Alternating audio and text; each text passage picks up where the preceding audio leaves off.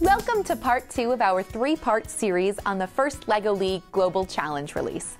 I'm Michelle Long. This year's challenge Trash Trek. We ask first LEGO League participants to learn about what happens to our trash. The challenge is made up of two components the project and the robot game, all guided by our signature core values. Now, let's go to project manager Janelle Chouanier. Janelle, what can you tell us about this year's project? Michelle, we all make trash. I'm here at a sorting facility because this is one of the many places trash can end up. Where your trash goes might depend on what it's made of, what facilities exist in your community, and most importantly, the choices you make when you're done with an item. So, when you say we all make trash, can you tell us a bit more about what you mean? For the Trash Trek Challenge, trash is any item you are done with and want to dispose of.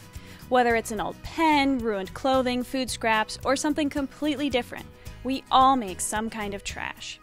Of course, we're not asking you to solve all trash problems. For your project, choose a problem that means something to your team. You'll have more fun learning about trash and designing your solution if you pick something you care about. Now, it's important to know that there are a couple of exceptions. For the Trash Trek project, sewage, like wastewater, and gases, like car exhaust, are not acceptable trash items. That makes sense. Is there anything else that teams should know about the project before they get started?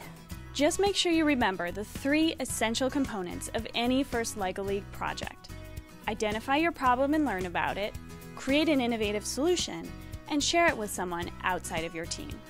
Every team needs to complete those three steps. You can find more details in the complete Trash Trek Challenge document. Thanks, Janelle. And teams, don't forget to read that document to learn all about this year's challenge. Next up, the Trash Trek robot game.